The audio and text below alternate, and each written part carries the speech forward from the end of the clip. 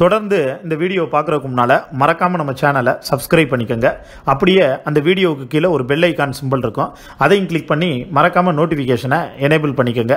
அப்போ தான் நம்ம சேனலில் போடக்கூடிய நியூஸ் எல்லாமே உங்களுக்கு இமிடியேட்டாக வந்து சேரும். சினிமாவில் ஏழு கழுத வயசாகியும் கல்யாணம் ஆகாமல் நிறைய பேர் இருக்காங்க. சல்மான் கான் விஷால் பிரேம்ஜி இது மாதிரியான வந்து முரட்டு சிங்கிளான ஆட்களும் வந்திருக்காங்க. அதே மாதிரி வயசுக்கு வந்த உடனே அதிகபட்சமாக இருபத்தஞ்சு வயசுக்குள்ளே கல்யாணம் ஆகி செட்டிலான நடிகர்களும் இருக்காங்க நடிகைகளும் வந்திருக்காங்க. அதில் எந்தெந்த நடிகர்கள் இன்னைக்கு முன்னணி நடிகர்களாக வந்திருக்காங்க? அவங்க எல்லாருக்குமே எந்த வயசில் அதாவது இருபத்தி அஞ்சு வயசுக்குள்ளே கல்யாணமான முன்னணி நடிகர்களாக இப்போ இருக்கிறவங்க யார் யார் அப்படிங்கிறத பற்றி தான் இந்த வீடியோவில் நம்ம வந்து பார்க்க போகிறோம் அதில் ஃபஸ்ட்டு நம்ம பார்க்க போகிறது தளபதி விஜய். எல்லாருக்குமே வந்து தெரியும் தளபதி விஜய்க்குன்னு இன்னைக்கு தனி மாஸ் இருக்குது வெறித்தனமான ரசிகர் ரசிகைகள் இருக்காங்க. ஆரம்ப காலகட்டத்தில் நிறைய படங்கள் தோல்வியை வந்து கொடுத்தாலும் அதுக்கப்புறமா தனக்குன்னு வந்து ஒரு தனி ட்ராக்கை போட்டு இன்னைக்கு வரைக்கும் அசைக்க முடியாத ஒரு மாஸ் ஹீரோவாக வந்திருக்காரு அப்படின்னே வந்து சொல்லலாம். ஆயிரத்தி தொள்ளாயிரத்தி தொண்ணூற்றி ஒம்பதில் விஜய்க்கு வந்து திருமணம் நடந்தது. சங்கீதா அப்படிங்கிறவங்க அப்படிங்கிறவங்கள தான் திருமணம் செஞ்சுக்கிட்டாங்க. சங்கீதா விஜயினுடைய வெறித்தனமான ஃபேன்ஸ் அப்படின்னே வந்து சொல்லலாம். தளபதி விஜய்க்கு ஆயிரத்தி தொள்ளாயிரத்தி தொண்ணூற்றி ஒம்போதில் கல்யாணம் நடக்கிறப்ப அவருடைய வயசு வந்து என்ன அப்படின்னு வந்து பார்த்தா இருபத்தி அஞ்சு. அடுத்து நம்ம பார்க்க போகிறது நடிகர் சிபிராஜ். சிபிராஜுக்கு ரெண்டாயிரத்தி எட்டில் வந்து திருமணம் ஆச்சு ரேவதி அப்படிங்கிற பெண்ணை திருமணம் செஞ்சுக்கிட்டாரு. அப்போ சிபிராஜோட வயசு இருபத்தி அஞ்சு. அதே மாதிரி பாரம்பரிய குடும்பமான திராவிட முன்னேற்ற கழகம். அதில் கலைஞருடைய பையன் ஸ்டாலின் எல்லாருக்குமே தெரியும். கலைஞருடைய பேரன் தான் உதயநிதி ஸ்டாலின்ங்கிறதும் எல்லாருக்குமே வந்து தெரியும். உதயநிதி ஸ்டாலின் வந்து கிருத்திகாவை காதலிச்சு திருமணம் செஞ்சுக்கிட்டாரு. ரெண்டாயிரத்தி ரெண்டில் அவங்க கல்யாணம் நடந்துச்சு. அப்போ உதயநிதிக்கு வயசு வந்து இருபத்தி அஞ்சு. அடுத்து இன்னைக்கு தமிழ் சினிமாவில் மக்கள் செல்வன்னு கொண்டாடப்படக்கூடிய விஜய் சேதுபதி மாஸ் ஹீரோவாக இன்னைக்கு வந்து இருக்காரு. ஆரம்ப காலகட்டத்தில் நிறைய கஷ்டங்கள் எல்லாத்தையும் தாண்டி தான் இன்னைக்கு சினிமாவோட உச்சத்தில் வந்திருக்காரு. இவருக்கு ரெண்டு ரெண்டாயிரத்தி மூணில் திருமணமாச்சு ஜெஸ்ஸி அப்படிங்கிற பெண்ணை திருமணம் செஞ்சுக்கிட்டாரு. அப்போ விஜய் சேதுபதிக்கு வந்து வயசு இருபத்தி அஞ்சு.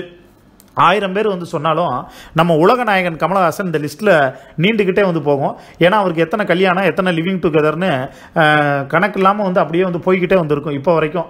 ஆனால் அதில் அவர் முதல் திருமணம் வந்து முறைப்படி வந்து செஞ்சுக்கிட்டது அஹ், வாணி கணபதியை. வாணி கணபதியை திருமணம் செஞ்சுக்கிறப்ப கமலுக்கு வந்து வயசு இருபத்தி நாலு அடுத்தபடியாக வந்து நம்ம வந்து பார்க்க போகிறது நடிகர் ஜீவா.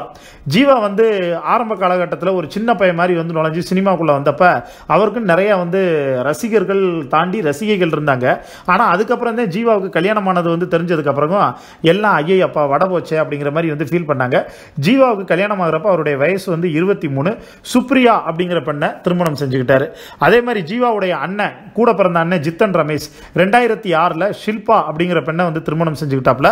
அப்போ ஜித்தன் ரமேஷ்க்கு வயசு வந்து இருபத்தி நாலு. அதுக்கப்புறம் நம்ம வந்து பார்க்க போகிறது நடிகர் சித்தார்த். சித்தார்த்துக்கு இப்போ வரைக்கும் கல்யாணம் ஆலன்னு நிறைய பேர் வந்து நினச்சிட்டு இருக்காங்க. ஆனால் சித்தார்த்துக்கு இருபத்தி நாலு வயசுலேயே மேக்னா அப்படிங்கிறவங்கள வந்து கல்யாணம் பண்ணிக்கிட்டாங்க. ரெண்டாயிரத்தி மூணில் இந்த திருமணம் நடந்தது.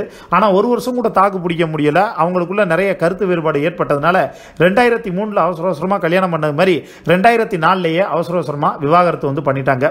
அடுத்தபடியாக நம்ம வந்து பார்க்க போகிறது நடிகர் இயக்குனர் அதுக்கப்புறம் டான்ஸ் மாஸ்டர் பிரபுதேவா. பிரபுதேவா ஆயிரத்தி தொள்ளாயிரத்தி தொண்ணூற்றி அஞ்சில் ராமலதா வந்து திருமணம் பண்ணாங்க. அது அப்போ பிரபுதேவாவுக்கு வந்து வயசு இருபத்தி ரெண்டு அப்போ புகழோட உச்சத்தில் வந்து இருந்தார். இப்போயும் புகழோட உச்சத்தில் தான் வந்து இருக்கார். இப்போ அவருடைய குழந்தை வந்து இறந்ததுக்கப்புறம் தான் நயன்தாரா கூட வந்து பழக்கம் ஏற்பட்டு அதுக்கப்புறம் அது எவ்வளோ பெரிய பஞ்சாயத்தில் முடிஞ்சதுன்னு உங்களுக்கே வந்து தெரியும். அடுத்தபடியாக நம்ம வந்து பார்க்க போகிறது யார் அப்படின்னு வந்து பார்த்தா நடிகர் வந்து பார்த்தோன்னா தனுஷ். தனுஷை பொறுத்த வரைக்கும் ரெண்டாயிரத்தி நாலில் ஐஸ்வர்யா ரஜினிகாந்த் அவர் வந்து திருமணம் பண்ணார். அப்போ தனுஷ்க்கு வந்து வயசு இருபத்தி ஒன்று மீசை முளைக்கக்கூடிய அந்த வயசுல தான் அவருக்கு கல்யாணமே வந்து நடந்தது. அடுத்து நம்ம பார்க்க போகிறது பிரபுவோட பையன் விக்ரம் பிரபு அதாவது நடிகர் சிவாஜி கணேசனுடைய பேரன் அப்படின்னே சொல்லலாம். இவர் லட்சுமி உஜ்ஜயினி அப்படிங்கிற பெண்ணை ரெண்டாயிரத்தி ஏழில் கல்யாணம் பண்ணார். அப்போ விக்ரம் பிரபுக்கு வயசு இருபத்தி ஒன்று அடுத்து ஜிவி பிரகாஷ். ஜிவி பிரகாஷ் வந்து சைந்தவிங்கிற ஒரு பாடகியை வந்து காதலித்து கல்யாணம் பண்ணாங்க. அப்போ ஜிவி பிரகாஷோட வயசு வந்து பார்த்தோன்னா இருபத்தி அஞ்சு.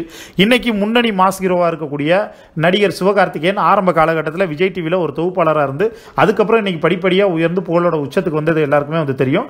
சிவகார்த்திகேயன் அவங்க அத்தை பொண்ணு ஆர்த்தியை வந்து திருமணம் செஞ்சார் ரெண்டாயிரத்தி பத்தில். அப்போ சிவகார்த்திகேயனோட வயசு வந்து இருபத்தி நாலு. அடுத்து நம்ம வந்து பார்க்க போகிறது நடிகர் விக்ராந்த்.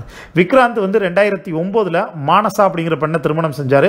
அப்போ விக்ராந்தோட வயசு இருபத்தி நாலு. அதே மாதிரி காமெடி சூப்பர் ஸ்டார் நடிகர் சந்தானம். அவர் வந்து உஷாங்கிற பெண்ணை ரெண்டாயிரத்தி நாலில் வந்து கல்யாணம் பண்ணார். அப்போ சந்தானத்தோட வயசு இருபத்தி நாலு இதில் உங்களுடைய ஃபேவரேட்டான வந்து ஜோடி எது? இதில் உங்களுக்கு பிடிச்ச நடிகர் யார்? அப்படின்னு உங்களுக்கு தோணக்கூடிய கருத்துக்களை கீழே இருக்கக்கூடிய கமெண்ட் பாக்ஸில் மறக்காமல் மென்ஷன் பண்ணுங்கள் இந்த வீடியோ உங்களுக்கு வந்து பிடிச்சிருந்தா லைக் பண்ணுங்கள் ஷேர் பண்ணுங்கள் மறக்காமல் நம்ம சேனலை சப்ஸ்கிரைப் பண்ணிக்கோங்க. அப்படியே இந்த வீடியோ கீழே இருக்கக்கூடிய பெல் ஐக்கான் சிம்பலை கிளிக் பண்ணி மறக்காமல் நோட்டிஃபிகேஷனை எனேபிள் பண்ணிக்கோங்க. நன்றி வணக்கம்.